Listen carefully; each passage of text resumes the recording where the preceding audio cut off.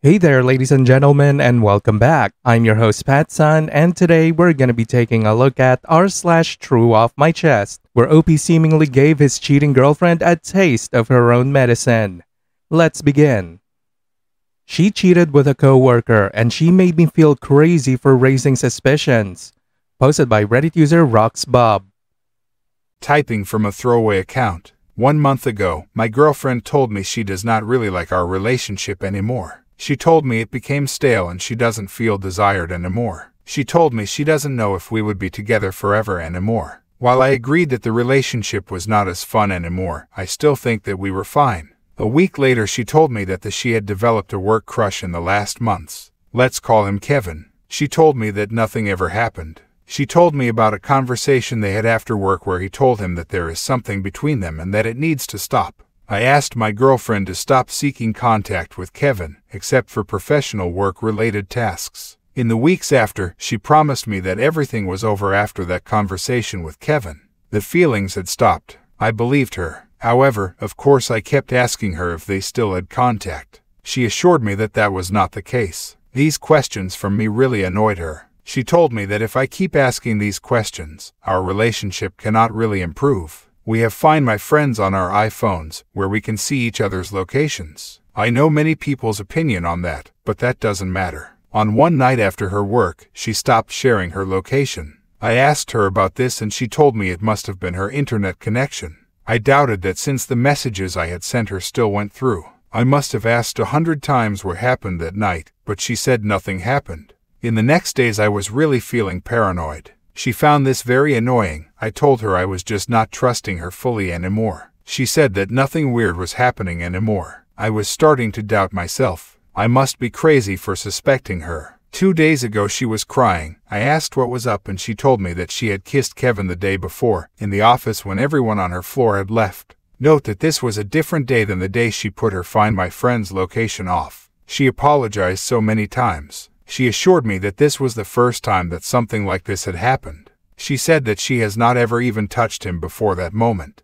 She promises me that they never, never, never had sex. She also confessed that they had sought contact with each other, even though she had promised not to do that anymore. Apparently, they have had phone calls after work in their cars when driving home. Afterwards, she has deleted these calls from her call history. Keep in mind that I had asked many times if they still had contact, and it always made her annoyed at me. I then asked her what happened that night when she put her location off. She assured me that that was really not the case and nothing happened. She told me that she now really has told me everything. Yesterday she came out and said that was also a lie. She had a long conversation on the parking lot on the phone with him. She put her location off as not to cause suspicion in me. What the worst part is, that she made me feel like I'm crazy, like I was seeing things that were not there. That she got angry when I told her my suspicions. She got angry when I kept asking if she had still seen him. Yes, she told me directly when she had kissed him. However, there has been a lot of drip feeding the truth afterwards. She promises me now that everything is on the table, but I don't know if I can believe her anymore. Of course, she now wants to fix everything.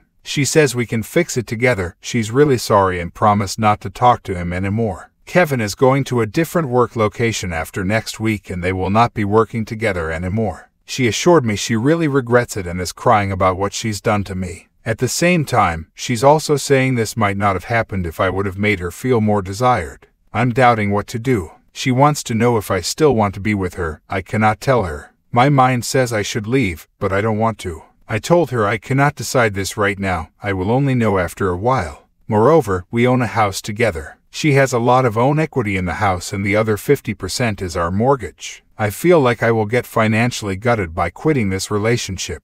I need some outside views on this. I never thought I would experience anything like this. I'm really devastated. TLDR, my girlfriend kissed a coworker in the office. I had suspicions for a while, but she got mad when I raised those. Now all these suspicions seem to be true. They did not have sex. We own a house together. We're leaving for vacation next week.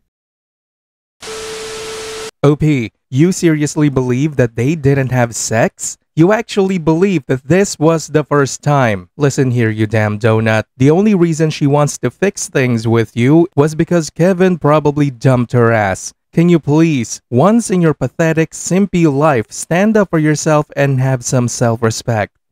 And now for today's second story.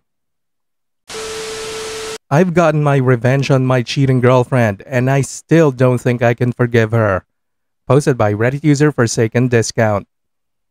I didn't expect this to be so long before writing, so skip to the TLDR to find out why I think I'm a bad person. A lot of background. My girlfriend had a period for about a year and a bit into our relationship, where every second weekend for a few months was girls' night and she'd go out with her girlfriends. Sometimes she'd message me with pictures, sometimes I wouldn't hear back until the next morning when she crashed at one of her friends' houses. I brought it up a few times that I didn't like being in the dark about her nights, but she told me I should just trust her. I really didn't like this, but it didn't matter by the end of it, as she decided to cut herself off from that friend group and cut back on drinking. Our relationship continued. Whenever I asked about those friends, she said the girls' nights weren't fair to me and she wanted to spend time to focus on us. And so those weekends turned into board game nights, movie nights, nights of experimentation. Fast forward three years to about a month ago, my girlfriend and I were drinking for the first time in ages, and I was egging her on to do shots with me because I always thought she was cute when she got tipsy. But instead, she just looked sad, and after a while, she broke down into tears. It took a long while of consoling to get her to respond, to which she said she wanted to talk to her sister and if I could give her a bit.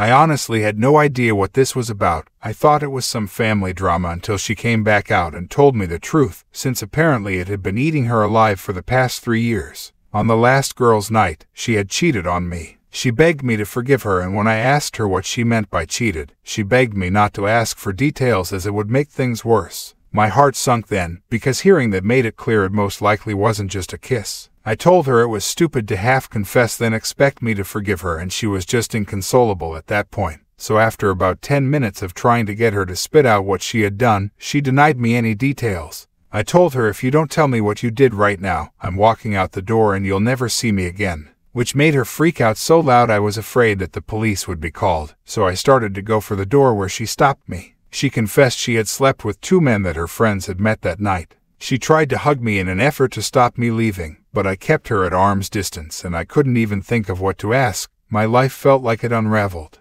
I told her to go to bed and we'll talk about this in the morning, and I had planned to leave, but she ended up holding on to me, begging me to stay the night. The whole night I just stewed in my anger as she whimpered into my chest before falling asleep. Come morning, she looked like a corpse. All the life was drained out of her face. I asked her to explain what happened in detail, and if I find out anywhere down the line that she skipped a detail or obscured something, I would never forgive her. She essentially explained that two guys were hanging around the group with them and buying everyone drinks. She was insecure that they weren't giving her any attention. So when they finally started talking to her, she felt validated. She left with them to party after the night out, and that's where they hooked up. The speech sounded like the culmination of three years of reflection on that night. The first question on the top of my mind was, so, both at the same time. To which she said yes, and that made my skin crawl.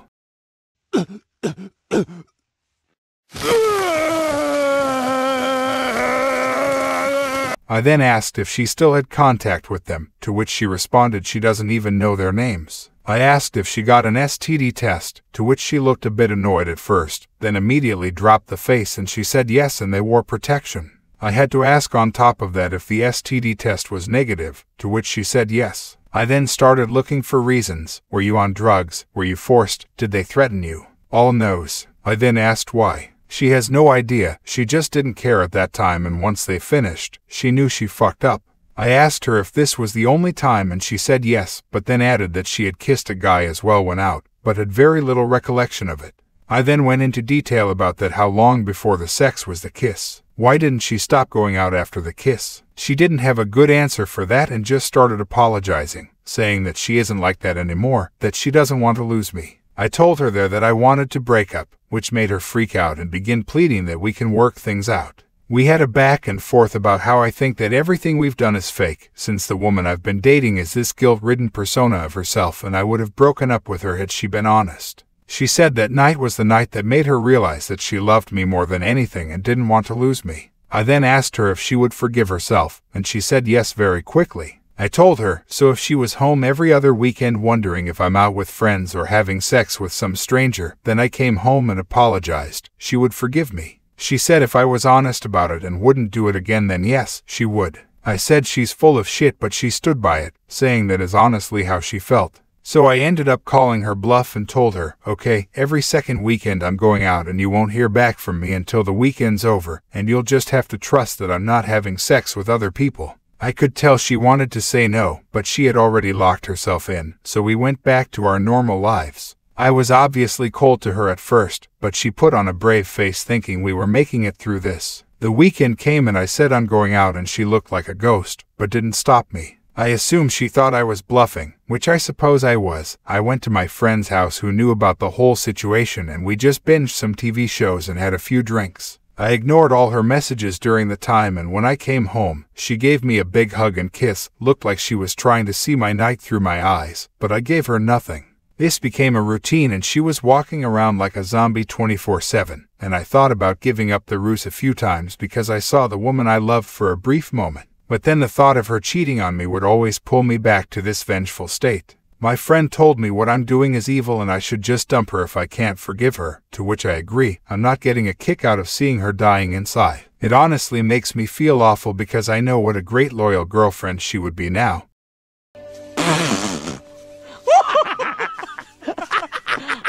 but I just can't love her anymore. I need to tell her now that there is nothing we can do to fix this. I can't move past what she did. But I'm worried about the fallout from this situation I've put her through. TLDR, my girlfriend cheated on me, so I made her agree to let me go out to cheat on her to show her how it feels. OP. She was getting spit roasted while she knew that you were waiting for her back home. Then she pretended to be a loving girlfriend, lying to you for three years straight. And you think you're the one being cruel? Get real. While I do agree that this whole charade of yours is stupid, I don't think you're being cruel to her. But OP, just break up with her and expose her to everyone. So if you don't have anything better, then just move on with your life for your own sake. Viewer support is the best way for me to remain independent and continue bringing you these daily videos, which will always be here on my channels for you to watch absolutely free. So please consider subscribing to me on Rumble and on YouTube. Both will be linked in the description box down below. Thanks for listening everyone. If you even somewhat enjoyed today's story, make sure to give this video a thumbs up and if you really like it, consider subscribing to PattSun to never miss a future upload. Stay strong.